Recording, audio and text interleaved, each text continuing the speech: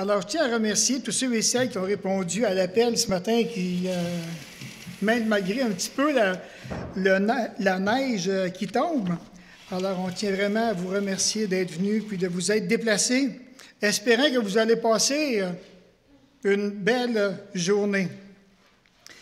Alors oui, je vais continuer ce que notre frère a commencé ce matin. Quand il était dans Luc, je me suis dit, arrête va pas trop loin. Non, ben, je ne voulais pas qu'il touche le texte que je voulais apporter, quand même, quand même. Mais euh, dans le texte que je veux vous apporter ce matin, il est dit ceci. Il y avait dans cette même contrée des bergers qui passaient dans les champs les veilles de la nuit pour garder leurs troupeaux. Et voici un ange du Seigneur leur apparut, et la gloire du Seigneur resplendit autour d'eux. Ils furent saisis d'une grande frayeur. Mais un ange leur dit, ne craignez point, car je vous annonce une bonne nouvelle qui sera pour tout le peuple le sujet d'une grande joie. C'est aujourd'hui, dans la ville de David, il vous est né un sauveur qui est le Christ, le Seigneur. Et voici à quel signe vous le reconnaîtrez. Vous trouverez un enfant emmailloté et couché dans une crèche. Et soudain, il se joignit à l'ange une multitude de l'armée céleste, louant Dieu et disant, Gloire à Dieu dans les lieux très hauts et paix sur la terre parmi les hommes qui l'agrée. Et là, je me suis dit, quand j'ai approché le texte, je me suis dit, mais ça fait 60 ans. Allez pas penser que je suis quand même vieux, vieux, vieux, là, mais ça fait 60 ans que j'entends cette histoire-là l'histoire de Noël. Au début, ah, on voit quelqu'un dans une crèche, on l'appelle le petit Jésus.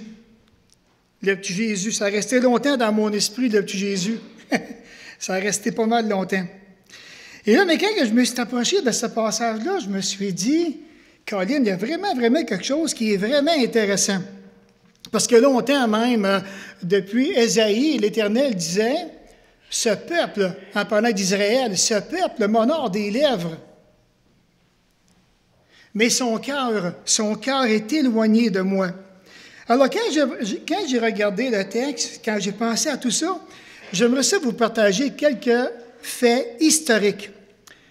Premièrement, on dit que, ben, du verset 8, hein, euh, ce n'est qu'en été, en principe, que les bergers Plutôt, ce n'est qu'en été que les bergers, en principe, passaient la nuit dehors pour faire paître leurs troupeaux. En hiver, les troupeaux ne sortaient que le jour pour paître. Il est dit que la date du 25 décembre a été fixée bien plus tard par les chrétiens romains pour remplacer une fête païenne des Saturnales. Alors, Saturnales, euh, je me suis dit, oh, qu'est-ce que c'est ça? Alors, les premiers responsables de l'Église chrétienne pensaient que la religion nouvelle serait mieux acceptée si elle ne rompait pas trop les usages et rites anciens. Or, les Romains célébraient le 25 décembre la fête du soleil. Et les chrétiens, pour leur part, alors, assimilaient volontiers Jésus au soleil. On dit que c'est plus tard qu'Augustin l'appelait l'astre d'en haut expression biblique, ce qui finit par entraîner, on dit, le choix de cette date, du 25 décembre. Mais avec Augustin, on est bien loin des premiers responsables de l'Église chrétienne. C'est intéressant, qui n'ont jamais songé à fêter la naissance de Jésus. Ah, je dis, comment ça qu'ils n'ont pas pensé à ça? Pas en tout.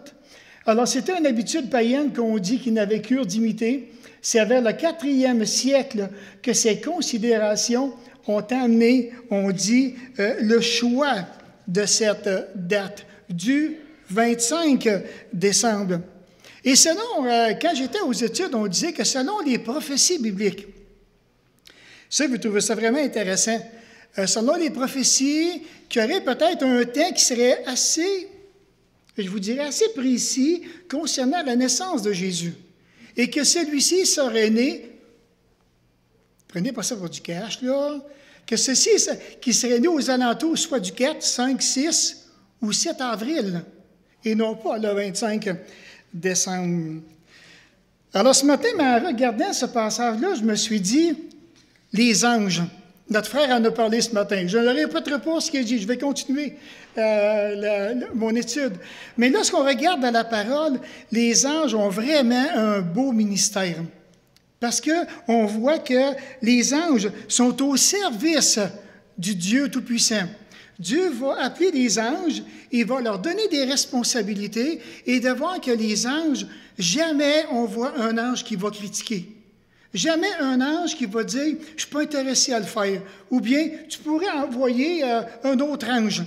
Non, ils prennent la, responsabilité que Dieu leur donne et ils vont vraiment avec joie. Et juste dans le passage, par exemple, il dit au verset 9, Et voici un ange du Seigneur. Il n'est pas identifié, on ne sait pas lequel que c'est. Mais il y avait un ange du Seigneur qui était là, qui leur apparut. C'est certain qu'un un petit peu comme que Sylvain disait que j'aurais un ange qui m'apparaîtrait. Je ne sais même pas personnellement si je le connaîtrais. Parce qu'ils ont ils peuvent venir sous forme humaine, les anges. C'est vraiment intéressant. Et de voir qu'à partir de là, peut-être que je la, je la connaîtrais, peut-être pas. Peut-être bien que j'apprécierais vraiment le temps que je passerais avec l'ange, puis un coup qui partirait, mais qui c'est ça? Je ne l'ai jamais vu. D'où il vient, d'où il sort, qu'est-ce qu'il fait dans la vie, où est-ce qu'il est parti? Je ne sais plus. C'est possible. Mais un ange du Seigneur leur apparut et la gloire du Seigneur resplendit autour des bergers. Il me semble de voir les bergers en train de regarder, mais qu'est-ce que c'est ça? D'où vient cet éclat-là autour de nous? Et de voir que dans le verset 10, mais l'ange leur dit, ne craignez point. Et là, on peut voir, on peut comprendre la crainte qu'il avait vis-à-vis des bergers, parce qu'ils ne comprenaient vraiment pas qu'est-ce qui se passait. Et de voir que l'ange maintenant annonce cette bonne nouvelle de l'Évangile. Et puis on voit aussi au verset 13, et soudain il se joignit à l'ange. Donc, dans si peu de versets, on voit maintenant le ministère des anges. Un ange du Seigneur vient. L'ange du Seigneur dit ne craignez point. Une multitude maintenant comme témoignage de ce que l'ange disait au berger. Alors c'est la vérité que je vous dis, et voilà maintenant une preuve. Une multitude. imaginez, le ciel se rouvre, une multitude d'anges se joignent à l'ange disant, Gloire à Dieu dans les lieux très hauts et paix sur la terre parmi les hommes qui l'agréent. Ce matin, le moi, quand j'ai vu ça, je me suis dit, Seigneur, si j'ai une multitude devant moi, je vais lui faire répéter ça trois fois. Êtes-vous d'accord avec moi? Tout le monde ensemble. Gloire à Dieu dans les lieux très hauts. Qui l'agréent.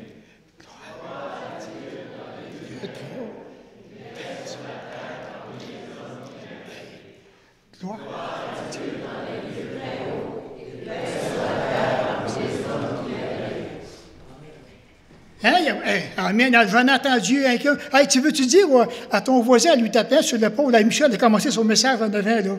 Il faut vraiment embarquer, là, hein? Donc, l'ange, l'ange dit au berger, vous trouverez un enfant emmailloté. Et ça, j'ai vraiment aimé ça. Et couché dans une crèche. Et de voir qu'ici, maintenant, on dit qu'il y a la référence dans une crèche, dans une mangeoire, comme on voit aussi dans d'autres versions de la parole. Ici, maintenant, ça a engendré la tradition qu'on dit maintenant selon laquelle que Jésus serait né dans une étable. C'est intéressant parce que le terme étable, on ne le trouve pas dans la parole. Si vous avez observé, vraiment, il n'y a nulle part dans les Écritures qui nous dit que Jésus est né dans un étable, qu'il serait né dans une crèche? Vraiment dans une crèche. Et de voir que même on dit c'est possible, peut-être qu'il est né dans une étable. On n'a pas, euh, on n'a absolument rien de précis euh, qui nous le dit. Mais une chose est certaine, lorsque Jésus est né, donc il est, euh, ils l'ont placé dans une crèche. Même si la tradition du deuxième siècle dit que c'était peut-être même dans une grotte. Peut-être. Mais il n'y a aucune façon de vérifier ces informations-là. Et on sait maintenant que les grottes, comme il disait, c'était utilisé pour mettre aussi des animaux. Alors, puis encore là, c'est juste là, ils n'ont pas été capables de vraiment trouver une place précise pour bien identifier euh, la naissance de Jésus. Puis il faut garder à l'époque, donc c'est tout le monde allait pour se faire inscrire parce que c'était le temps du recensement. Alors maintenant, à partir de ce moment-là, on sait que Marie et Joseph se présentent euh, soit dans un auberge, dans un hôtel, et puis maintenant, on leur dit qu'ils n'avaient pas de place pour eux. Et ça, maintenant, c'est quelque chose auquel tout le monde, et tout le monde, vous avez déjà entendu à maintes reprises ces pensées-là. Pas de place pour Marie. Alors, on dit que probablement, c'est possible l'hôtelier, le, propriétaire qui les ait envoyés dans un abri public ou bien maintenant dans un campement ou sur son terrain. C'est possible. on parle peut-être même parmi les caravanes. Bon, je ne sais pas de caravane, c'est certain que ce n'est pas comme aujourd'hui, mais et de voir qu'une chose est certaine, que Jésus, on dit qu'il naquit dans les conditions ce qui a trait, dans les pires conditions, en ce qui a trait le confort. Aujourd'hui, une femme qui accouche, mais si ça ne fait pas, on appelle l'ambulance, ça presse, on l'amène à l'hôpital, et dans la chaleur, il y a des infirmiers, infirmières qui s'en occupent. ça engage un paquet de personnes qui sont là, de personnel, et de voir qu'ils vont s'occuper euh, vraiment de l'enfant et de la mère aussi. Mais ici, c'est complètement différent. Alors, il y a cet abri public qui est là, auquel Jésus naît dans un confort euh, vraiment désagréable. Et on dit que ça pourrait être aussi vraiment un abri, un abri qui est puant. Euh, les senteurs sont vraiment désagréables. Et de voir qu'à travers tout ça, on dit que certainement que le plancher, et même s'il y avait de la paille, il y avait probablement des excréments mêlés d'urine c'est un endroit crasseux, un endroit où c'est froid, tantôt c'est humide, et tantôt, mais c'est rempli d'animaux bruyants. Et on dit que Jésus serait né dans un tel milieu. Alors, ceci m'a fait réfléchir. Ça m'a fait réfléchir profondément parce que je me suis dit, Parmi nous, il y a sûrement des vieux chrétiens dans l'Assemblée. Puis il y a sûrement aussi des, des, jeunes chrétiens. Et là, maintenant, quand on pense à la façon dont Jésus est venu au monde, on dit, mais ça n'a pas de sens. Ça n'a vraiment pas de sens. Et ça m'a fait réfléchir à la pensée maintenant, qu'y a-t-il dans la crèche de ton cœur ce matin? Est-ce que Jésus, le roi des rois, a la première place? Est-ce que Jésus a une place de choix dans ton cœur personnel? Est-ce que tu lui as réservé, ou bien est-ce que Jésus siège dans un endroit des odeurs les plus désagréables dans ton cœur?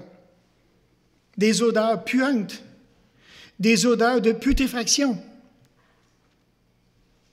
tu la seule à savoir pourtant tout ce qui se passe dans ton propre cœur. Ton cœur est-il entouré, de, je dirais, de toutes sortes d'excréments, de mauvaises senteurs? Par ton manque d'obéissance, tes égarements, ton engagement, ton manque de pureté morale, ton incrédulité, ton manque d'amour, ton plein d'amertume. Qu'est-ce qui lui monte vraiment au nez? Qu'est-ce que Jésus voit vraiment dans ton cœur présentement?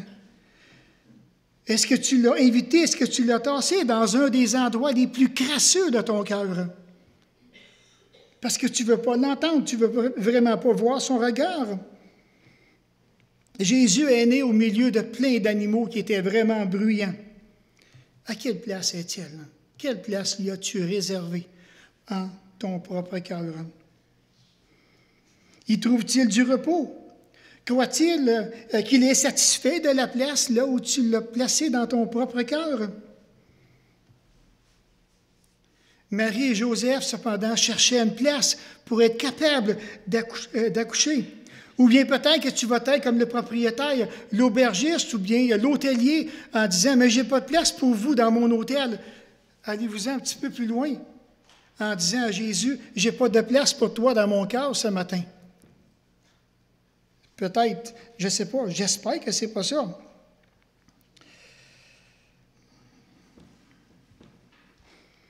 Et de voir qu'à travers tout ça, l'ange maintenant est en train d'annoncer une bonne nouvelle. Il leur dit, il vous est né un sauveur. Je ne sais pas si vous comprenez réellement la signification euh, d'un sauveur. Et de voir que l'ange a donné une précision en ce qui concerne comment vous allez trouver l'enfant, parce qu'il parle à des bergers. Maintenant, les bergers ont eu le témoignage du ciel. Il y a des anges qui se sont joints à eux, la lumière qui a resplendi autour d'eux. Et là, maintenant, l'ange donne euh, cette, information dont leur champ de limite était vraiment, vraiment limité. Pour la raison que ce n'était pas une habitude chez les femmes juives d'accoucher et de prendre l'enfant puis d'aller le mettre dans une crèche. C'était pas une tradition, c'était pas une habitude chez les Juifs. Alors maintenant, avec les informations que, que l'ange donne, la description de Jésus comme sauveur lui était vraiment bien adoptée. Il est venu pour sauver le peuple de ses péchés. De ses péchés, de mes péchés. Le véritable problème, non seulement des Juifs au temps de Jésus, mais le véritable problème de l'humanité entière, c'est que l'humanité a péché. Tout le monde a péché. Combien de fois qu'on entend des gens dire que je suis à la recherche de quelque chose, mais je ne sais pas quoi. Il y a quelque chose, il y a vraiment quelque chose à quelque part qui me dit que qu'ils n'ont pas les réponses. Alors, selon ce qu'il est écrit, qu'il n'y a point de juste, et combien de fois qu'on dit, hein, il n'y a pas de justice dans ce monde, pas même un seul. Nul n'est intelligent, nul ne cherche Dieu. Tous sont égarés, tous sont pervertis. Il n'en est aucun qui fasse le bien, pas même un seul. Pas même un seul. Et lorsqu'on regarde les tous, les tous, et je vous dirais que ça, c'est une vision télescopique. Tout le monde a péché. Tout le monde sont égarés. Tout le monde sont, sont pervertis. C'est ce que la parole de Dieu dit. C'est pas moi qui ai écrit ces choses-là. Ça a été inspiré par le Saint-Esprit. Ensuite, mais la preuve est là. Il dit car tous ont péché et sont privés de la gloire de Dieu. Tous ont péché. Et ça, c'est comme je vous dis, c'est encore la vision télescopique. Mais quand je le regarde d'une façon microscopique, la première fois qu'on me présentait ce verset-là, euh, ça m'avait vraiment cogné dans le cœur. Car j'ai péché et je suis privé de la gloire de Dieu. Car j'ai péché et je suis privé. Et là, je me suis dit, mais en quoi ai-je péché? Ben, la question se pose pareil, parce que ça a je suis un pécheur, mais je ne sais pas dans quoi je suis un pécheur. Alors ici, un autre passage, et ça maintenant, c'est Jésus qui dit ça. Il dit c'est du dedans. C'est du cœur des hommes que sortent les mauvaises pensées. Ouais? Qui parmi nous ce matin n'a jamais eu de mauvaise pensée? On est dans la bonne direction. Hein? Les adultères. Et les adultères, pas besoin de coucher physiquement avec quelqu'un. Jésus lui-même, il dit, juste le fait de penser dans notre esprit, ça commence ici. Juste le fait de penser que je désire quelqu'un sexuellement, mais j'ai commis un adultère dans mon cœur avec la fille. La fille, elle ne sait pas, mais moi, je sais. Il y a quelque chose qui ne va pas ici. L'adultère. Ensuite, il dit les débauchés, les meurtres. Ben voyons donc. On n'a jamais tué personne parce que s'il y aurait quelqu'un qui aurait tué quelqu'un, j'imagine qu'il serait en prison présentement. J'écoutais un, film avec mon épouse cette semaine, puis il y avait un gars, justement, avec un père qui était alcoolique, un, papa violent, un homme qui avait fait la première guerre. Il prend son revolver, puis a voulu tirer. C'est son fils qui l'a empêché. Puis il lui a dit, dans son témoignage, il a dit Dans mon cœur, j'ai tué mon père. dans mon cœur. Ça se passe là, pas besoin de faire le geste. Tout se passe dans notre cœur. Euh, les vols, les cupides, la méchanceté, la fraude, le dérèglement, le regard envieux, la calomnie, l'orgueil, la folie, toutes ces choses mauvaises sortent du dedans, ça souille l'homme. On peut comprendre Jésus quand il est venu, quand il a dit Ce peuple, en parlant d'Israël, m'honore des lèvres, mais son cœur, son cœur est éloigné de moi. Alors tout le monde est coupable. On est tous des pécheurs coupables. Et ça, c'est Dieu lui-même qui le dit, d'avoir violé sa loi morale, la loi spirituelle, et nous demande de ne pas le faire. On est coupable, hein, quelque part, qu'on le veuille, qu'on ne le veuille pas. Alors imaginez ce terme que l'ange est en train de dire, il vous est né un sauveur. Comment est-ce que pour les bergers, ça devait être vraiment agréable d'entendre ce terme, un sauveur. Et ça, maintenant, c'est le véritable message de l'Évangile. C'est n'est pas le petit Jésus, là. Enlevez-vous ça dans la tête, c'est complètement faux. C'est pas le petit Jésus. On parle d'un grand sauveur. C'est Jésus-Christ, la seule bouée de sauvetage que Dieu nous a donnée pour être capable de l'atteindre, pour être capable que lorsqu'à notre mort, qu'on va traverser l'autre côté et que nous allons aller dans la présence de Dieu à cause de ce que Jésus a fait. Il n'est pas question de sentiment de culpabilité psychologique artificielle ici. Mais c'est vraiment question ici d'une culpabilité véritable qui est imposée par Dieu, que s'il n'y a pas de changement, que si nous demeurons dans l'état où nous sommes, c'est la perdition éternelle, c'est la damnation de l'enfer si on ne se tourne pas vers ce merveilleux Sauveur qui est le Seigneur Jésus-Christ. Car le salaire du péché, c'est la mort. Et ça, mais maintenant, quand on parle de ce passage, bien entendu que, bon, le salaire du péché, les premiers temps, la première fois que j'ai entendu ce verset-là, j'ai tellement eu de difficulté à le démêler. Puis, euh, à un moment donné, la lumière se fait, on le comprend. Hein? Alors, je suis tout, jeune chrétien, puis je ne voyais pas, pour moi, le salaire, je faisais juste de penser à de l'argent. De l'argent et le péché, ça ne va pas ensemble tout, mais je pense en quelque part qu'il y a vraiment des belles connexions dans la Bible. Donc, quand le salaire, le salaire, c'est ce que je mérite à cause de mes péchés. C'est la mort, la séparation éternelle avec Dieu. Tout le monde, on mérite ça.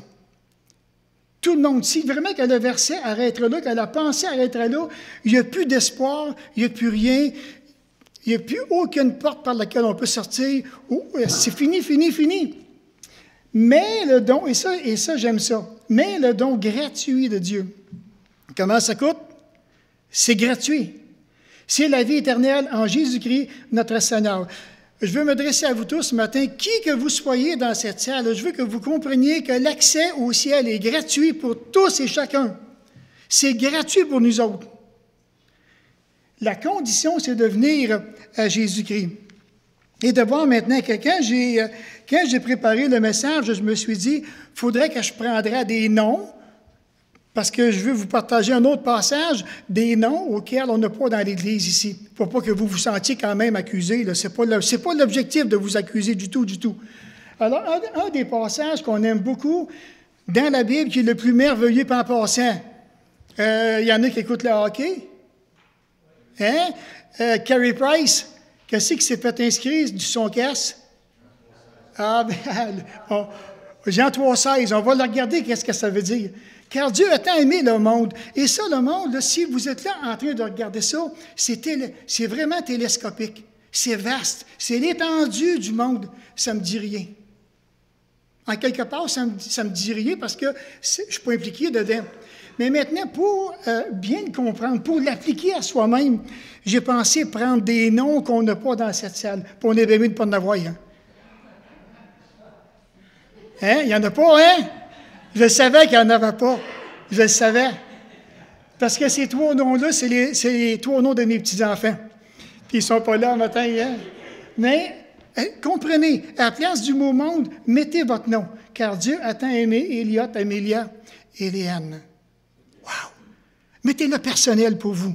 Prenez-le personnel. Alors, qu'est-ce qu'il a fait? Il a donné son Fils unique. Ça a coûté très cher à Dieu pour envoyer Jésus pour venir nous sauver. Ça a coûté énormément cher. Mais il le fait pareil parce qu'il pense à toi, parce qu'il t'aime, parce qu'il m'aime. Regardez ce qu'il dit. Après ça, afin que quiconque, ben, on pourrait remettre, mettez votre nom à la place de quiconque. Et ce que Dieu demande, c'est de croire. Avez-vous la foi, assez de foi, pour croire que l'enfant qui est né, c'est le Sauveur?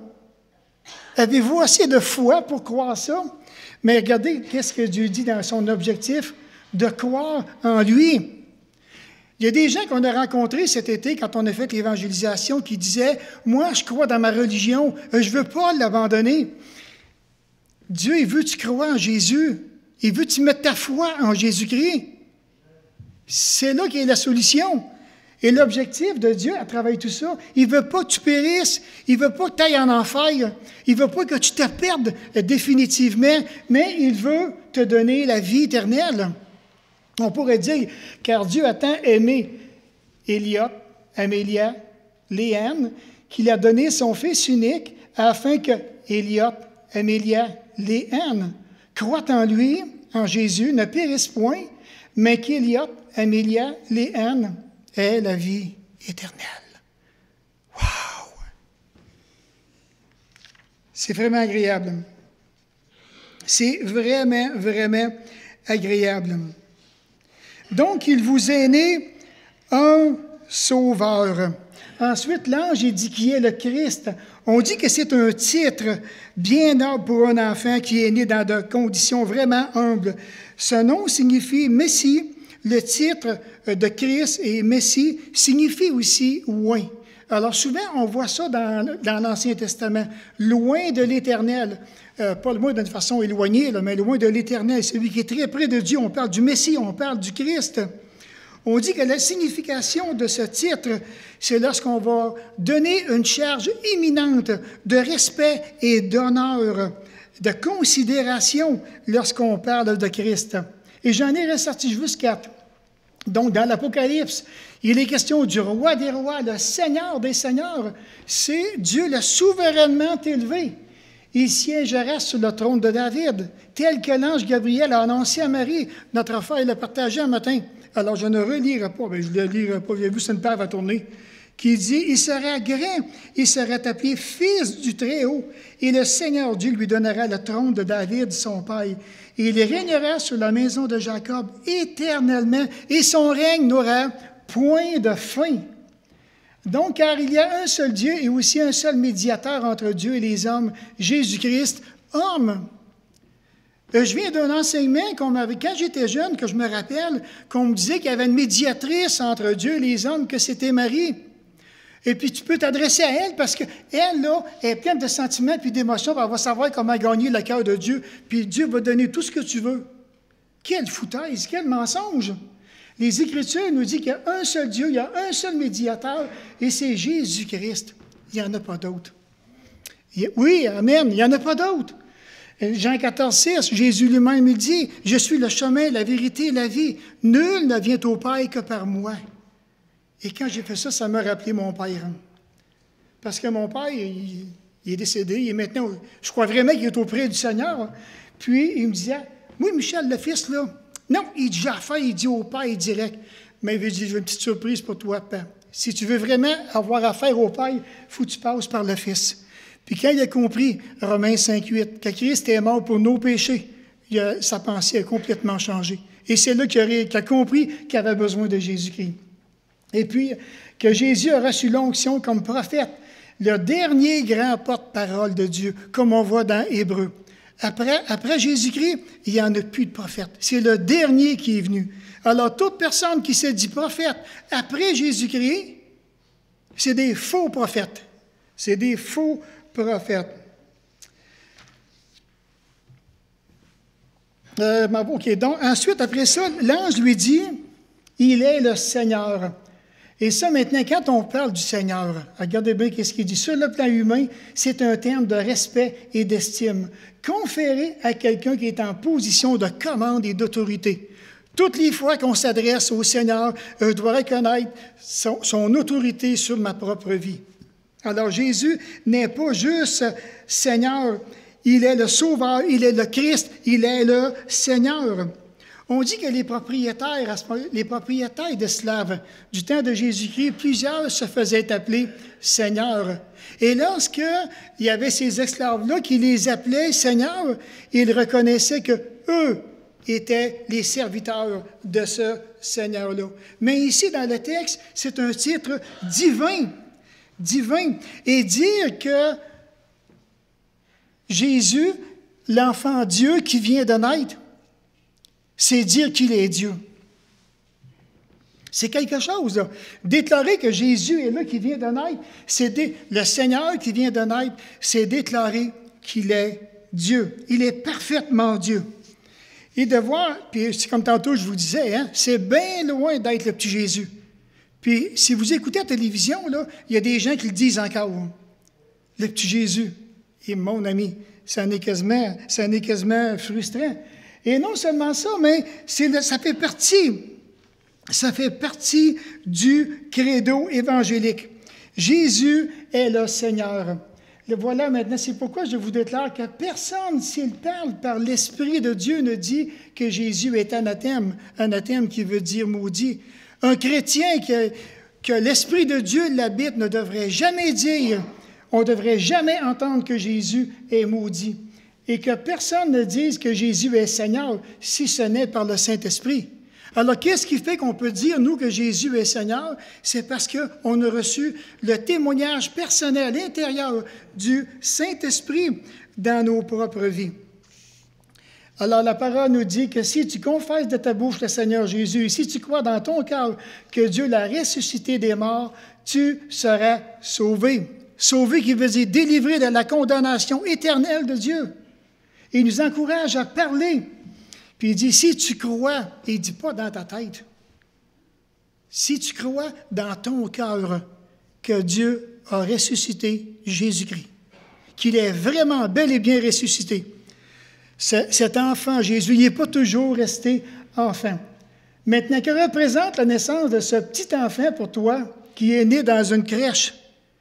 Que représente-t-il pour toi maintenant, aujourd'hui? Qui est-il? Est-ce que tu es convaincu qu'il est le Sauveur, qu'il est le Christ, qu'il est le Seigneur? Es-tu vraiment convaincu de ça dans tout ton cœur? En conclusion, peut-être ce matin vous avez entendu quelque chose à travers ce message, soit qu'il vous, soit ait encouragé, soit qu'il vous ait vraiment dérangé, ou bien maintenant le mensonge te rassure. Bof, c'est bien beau. C'est pas pour moi pas pour moi, c'est pour eux autres. C'est sérieux. C'est vraiment, vraiment sérieux. Quelle place que tu lui as donnée dans la crèche de ton cœur? Et s'il y en a qui sont ici, puis euh, qui ont peut-être jamais pensé d'inviter Jésus-Christ, combien j'aimerais vraiment vous aider? J'aimerais ça vous aider parce que peut-être que vous ne savez pas pas en tout, mais on fait quoi? On dit quoi? Euh, je ne sais pas. Moi, les premiers temps, quand, on me présentait l'Évangile, euh, jamais j'aurais su comment inviter Jésus-Christ dans ma vie. Jamais je l'aurais su. Je ne savais pas, premièrement, que je pouvais parler à Dieu. Alors, on va se courber dans un mot de prière, s'il vous plaît, pour terminer. Et peut-être que s'il y en a qui sont vraiment, euh, qui sont sérieux dans, cette, euh, dans ce cheminement, dans cette recherche personnelle, que tu aimerais vraiment venir à Dieu, à Jésus, mais tu peux lui dire dans ton cœur, Seigneur, je reconnais humblement que j'ai péché euh, devant toi. C'est personnel, c'est sérieux. Ne pas le faire si la, mort devait te prendre, tu serais perdu éternellement. Si tu reconnais que tu as péché, que tu es coupable, juste que tu es coupable, qu'importe le péché, demande-lui. Seigneur, je te demande pardon de tous mes péchés. Je reconnais que Jésus est mort sur la croix pour mes péchés, qu'il est venu dans ce monde pour que je puisse connaître le Sauveur, le Christ, le Seigneur. Père, je te demande humblement de m'accorder la vie, ton don gratuit, qui est la vie éternelle en Jésus. Alors Seigneur Jésus, toi-même présentement, tu vois dans les cœurs de chacun de nous, euh, gloire à toi s'il y en a qui ont fait cette prière qui t'ont demandé, qui tournent leur cœur vers toi et donne-leur vraiment cette assurance, cette assurance, cette conviction-là de la vie éternelle dans leur propre cœur. Père, merci de ce que tu as permis que Jésus naisse sur cette terre. On avait tellement besoin d'un Sauveur, d'un Christ, d'un Seigneur. Et merci de ce que tu nous l'as donné. Alors encore une fois, mon Père, que ces temps dans lesquels nous sommes puissent te bénir et que la vie de chacun de nous puisse vraiment t'honorer. Merci de tout l'honneur que tu nous fais d'être présent parmi nous ce matin. Au nom de Christ, Amen. Sylvain?